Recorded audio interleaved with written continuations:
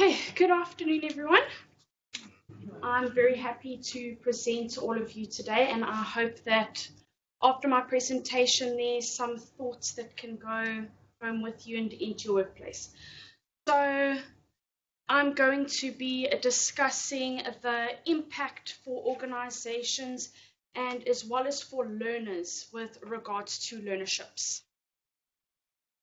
So I'm not going to delve into this too much because I know that a lot of you are aware and it has been discussed in previous presentations with regards to the BE score points. We are aware that that is a impact for the organizations out there when it comes to skills development as well as for training learners with disabilities and as well as the tax rebates. So uh, the a great thing about training and also offsetting the cost, which is a great motivation for organizations to do training, is the tax rebate that they can get back. So I've uh, got the amounts over there. As you can see, it is a 40,000 Rand when they do the NQF levels 1 to 6 that is right from your general education and training certificate right up to your diploma. So you would go for any training learnership at a training organization for that. And for any learner with a disability, they get a tax rebate back of 60,000 Rand. Once they start going to an organization as such as this one, where they go for their diplomacy degrees, which is NQF level 7 to 10, so NQF level 10 being your, your PhD, that is a rebate of 20,000 Rand if they do not have a disability, and then 50,000 Rand for disability. So they get those rebates back. So it's not physical cash, I get that back on their, their taxes, and uh, that is upon successful completion of the learnership. So that is also why it's so vital for the learners to be motivated and really driven to finish the learnerships, not only for them, but it is also a benefit for the organization. So um, as well with the, the SETA, you get the pivotal mandatory and discretionary grants that also really just helps to offset the, the cost of the training. It's not just the training that they need to offset the cost for, but also stipends, allowances, that kind of thing as well. So with the discretionary grants, the SETA puts aside 80% for the pivotal programs as well, so that addresses your scarce and critical skills. And then with your mandatory grants, it's calculated at 20% of an employer's um, skills levy. And then you also get your discretionary grants, which is at an organization SETA, and um, they will then set aside funding during the course of the year, which they then have to apply for. Okay, and then what is very important. So yes, while the, the BE and the grants and all of that is wonderful, offsets the cost, what's the most important part of doing this training is that you're making a change for those people's lives. So what is great is that you are creating a skilled workforce. It also creates a recruitment pool for the organization. And not only that, we're making South Africa a better place. And we also give the learners an opportunity to gain skills. A lot of the learners, uh, and I know that was also one of the previous presentations, have gone to special schools. And even if they have gone to your uh, general schools, uh, they don't get the skills that they need to actually go out there and even find a job. They are taught how to, to clean the table.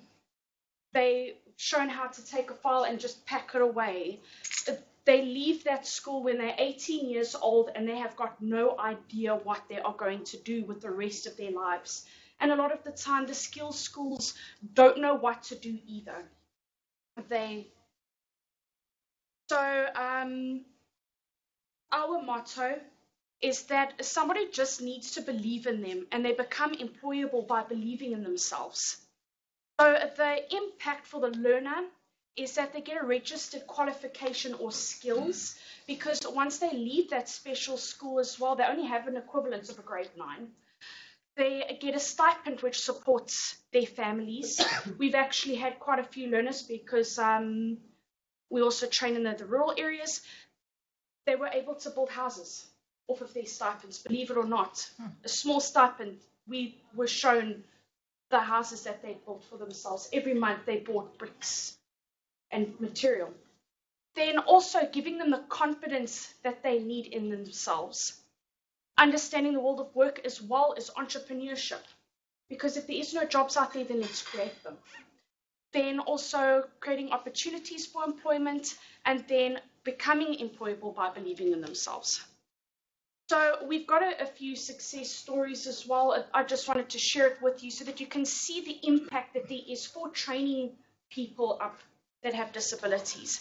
One of our learners wants to become an English tutor, but she lacked the skills to become an entrepreneur. So by doing this training, she's learned how to become an entrepreneur. She knows how to portray her body language, that kind of thing. But the most important thing is that she's gotten the confidence to now do it. And then also another one of our learners born with cerebral palsy. When he'd started off the training, he was unable to write in the workbooks because one of the requirements is that they have to write. So we had made an arrangement. The host organized um, a a keyboard and, and all of that in a computer so that um, he could type out his answers. And with that, they put him into the IT department because that's where they could assist him. And they'd actually unearthed a, a hidden talent. He was fantastic. He'd implemented a project to improve their computer system for their clients. And they told me that within that week, they got him to sign on the dotted line. They wanted him permanent. He was fantastic and a learner that had been sitting at home, no hope, didn't know what he was going to do for the rest of his life.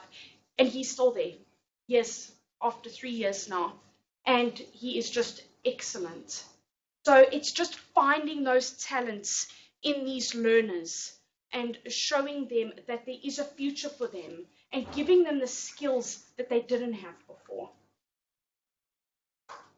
So embracing the change and preparing for the future.